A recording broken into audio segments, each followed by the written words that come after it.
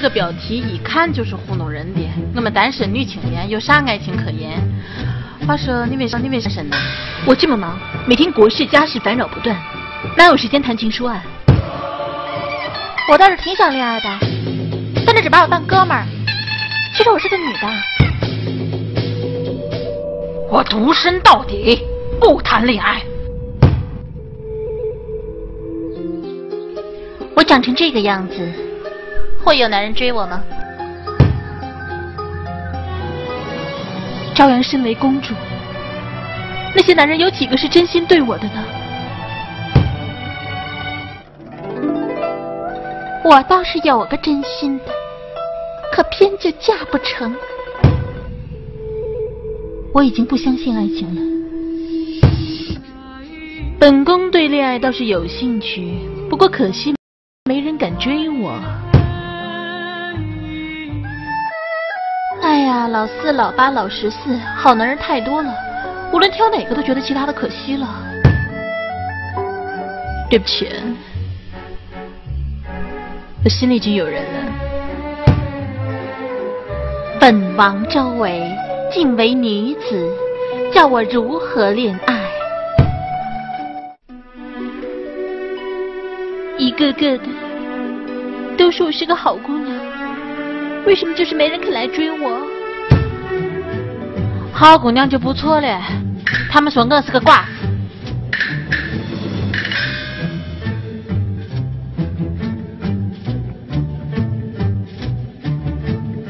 哎，你看呐，那不是两个民间格格吗？你不知道，他们两个破坏国家治安，影响社会和谐，今天被拖出来游街了。什么？他们是行刺了皇上，还是密谋造反呢？比那个可严重多了。他们两个一直不找对象。哎呦，那活该！诸位，你说我们哪儿错了？小燕子，让我们淡定一点。我们单身的理由在前两分钟里已经说得很清楚了。我想他们很快就会想通的。还珠格格，还珠格格，我是你二姨的婆婆的妹妹的邻居，你们下一辈儿都有对象了。你们俩好意思一直剩着吗？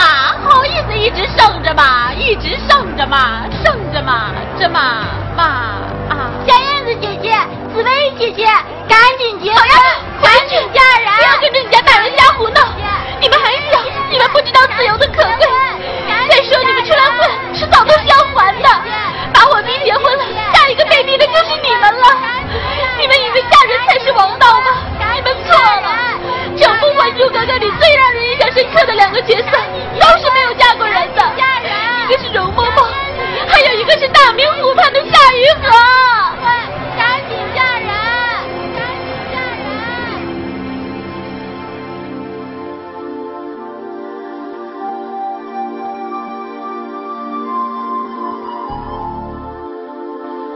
你该找个男人了。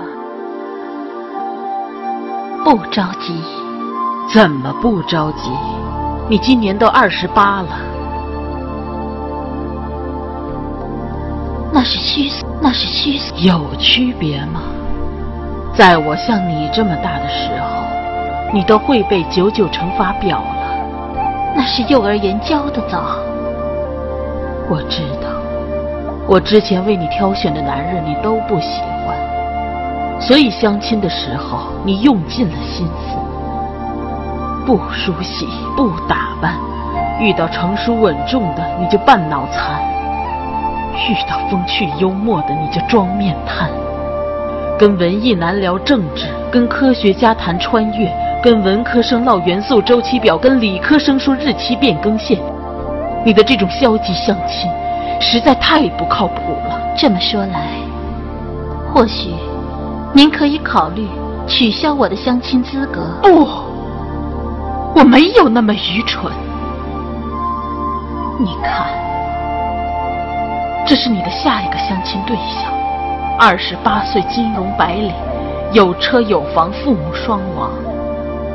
或者是这个，三十一岁，烈士学位，脱衣有肉，穿衣显瘦。只要你一点头，我马上可以安排他们和你见面。女人过了二十五岁就开始贬值，现在你还是美元英镑，再过几年你就成冥币了。也许再让我玩两年，等我自己想通了，就会直接领证结婚。这句话，你说的我都有抗体了。从明天开始，我为你安排了三十二场全国巡回相亲会，一定要把你嫁出去。好好打扮，不许再给我弄什么幺蛾子。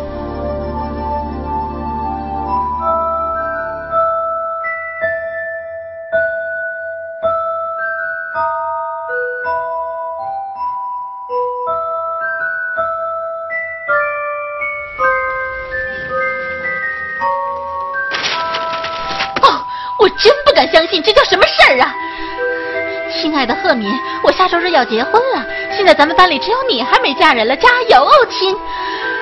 这才刚毕业两年，他们就都领证了，是要闹哪样？我才不是怕送红包呢！只要物价继续涨下去，早晚我都能收回来的。但是他们也结婚的太早了吧？让我妈妈知道了，一定要说我是个嫁不出去的剩女，或者是圣斗士、必胜客、斗战胜佛什么的。哦，上帝呀！这就好像参加魔法史的考试，我还没检查完，有人就交卷了。交卷的人越来越多，到最后搞得我也只能慌慌张张的交了卷子。我这辈子唯一一次没有拿满分的，就是那次考试。哦不，我快疯了！哈利罗，你们俩谁都行，帮个忙把我娶了吧！别假装你没听到。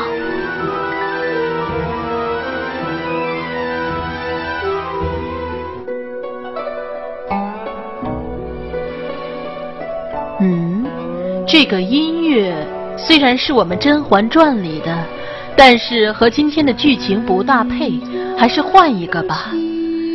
音乐组，换音乐。是。嗯，这个好。二十四位女嘉宾，这一期你们就别站着了，坐吧。是。大家把面前的灯亮起来。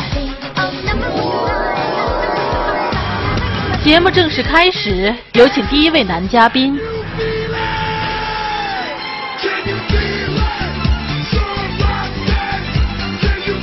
男嘉宾来了，女嘉宾请选择。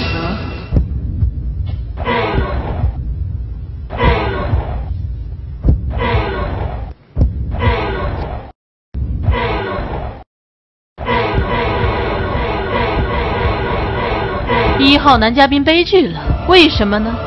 长得像我前男友，有钱又有权的男人最靠不住了。他不是我的菜，大家都灭，我也灭。既是个做皇帝的，怕是没时间陪女朋友吧？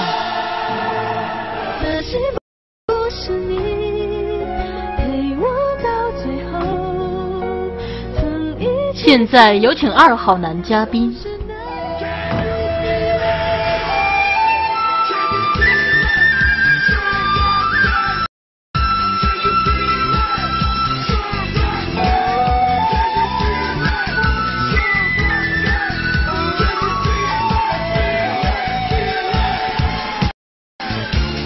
别光顾着笑，女嘉宾请选择。